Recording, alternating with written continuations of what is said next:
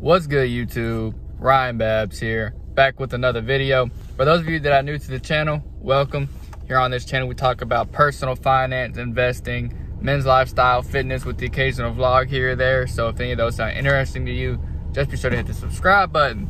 So, before we hop into the, uh, what month are we in? September dividend income, I want to talk about something I did this morning. So I got paid from my other job not my main job, my other job. Um, and I decided to, uh, I saw JJ Buckner's video on his option strategy. And so I was like, you know what? So I put, so I ended up buying 100 shares of Energy Transfer, placed the covered call option, and I'm only getting $2 of premium for it. So I'm like, oh, great. This is a waste of time. Um, good news is so now that's like 14% of my portfolio. Good news is that if it hits if the dividend doesn't get cut um that dividend check is going to be lovely. And um that's all i gotta say about that. But and then if not then we're just we'll just sell out of it and put it somewhere else or do something else with the money. But anyways guys let's just go ahead and hop right into the dividends that we received for september um, it's not as crazy as June like I thought it was gonna be, but it's getting better, slowly. So the first one we received is from Johnson & Johnson. They paid me a dollar and two, a dollar and two cents for 1.005842 shares. Next one is ExxonMobil. They paid me a dollar seventy-five for 2.006441 shares. Now that stock is no longer in my portfolio. I sold it off. So um, we won't be seeing that in for a while. I might come back in. I don't know. We'll see what happens. And the next one we received was RTX. They paid me 48 cents for 1.005655 shares. The next one is one I mentioned in my last video. Um, IBM, they paid me $1.64 for 1.007172 shares. Love IBM. Like I said in my last video, per, on a per share basis, this is my highest paying dividend right here.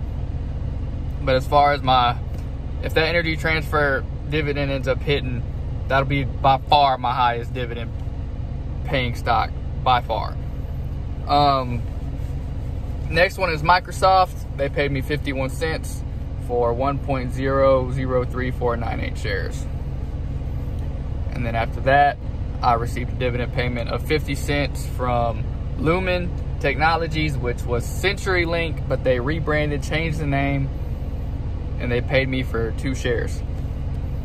On the 14th, I received $1.48 from 3M. This is my second highest paying um, dividend paying stock per share and I, I got paid for 1.004057 shares. Next one is everybody's favorite monthly player, Realty Income. They paid me $1.13 for 4.820959 shares. Next one is McDonald's. They paid me $1.26, which I believe is my third highest paying dividend per on a per share basis. And they uh, paid me $1.26 for 1.009018 shares. Next one is Kellogg. I sold them out the port. I sold them out. They paid me 57 cents for 1.001022 shares.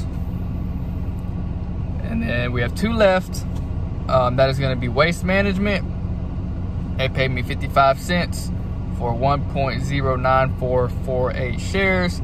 And then today on the 30th, we receiving we're receiving one from Pepsi for a dollar and two for 1.02333 shares. For so my total for this month is $11.92. My total for the year is $47.76.